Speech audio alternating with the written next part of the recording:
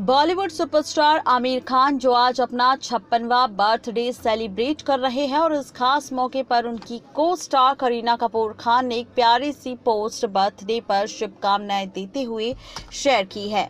बता दें कि करीना कपूर खान ने आमिर खान की फ़िल्म लाल सिंह चड्डा से उनका एक नया लुक रिवील किया है। करीना कपूर खान ने इस पोस्ट को शेयर करते हुए लिखा हैप्पी बर्थडे मेरे लाल। तुम जैसा यहाँ कोई नहीं हो सकता। मैं लोगों को इस जादू के देखने का इंतज़ार नहीं कर सकती, जो तुमने हीरा बनकर हमारे फ़िल्म में दिखाया है। करीना कपूर खान का ये दिल छू लेने वाला पोस्ट आप भी देख सकते हैं हमारी इस रिपोर्ट में। आमिर खान और करीना कपूर खान की ये फ़िल्म इसी साल क्रिसमस के मौके पर रिलीज़ होगी। इस much awaited Hollywood remake film को आमिर खान ने 25 दिसंबर 2021 में रिलीज़ करेंगे।